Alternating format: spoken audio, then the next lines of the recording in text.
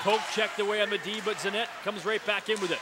Drags down the wall. Left for Iuorio. Shoots oh. one. It's loose in front. The shot. They Wow, what a great second effort. Iuorio bounces him in front. Gets his own rebound and buries it. It's 1 nothing Niagara.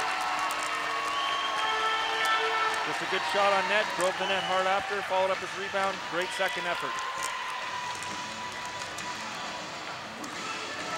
Iuorio goes to the net and he picks up his eighth of the season, 27th point on the year. Giancarlo Iuorio, you see here, shoots it, goes off the glove, roars his way to the front, gets his own rebound. You follow your shot, good things can happen. Well, you know, you talk about you talk about uh, shots on net. That shot actually was going wide. If Le, if LaVine had left that, that would have gone wide. Probably would have come around the boards and gone out of the zone. He decided to try and grab it, stop the play. It cost him.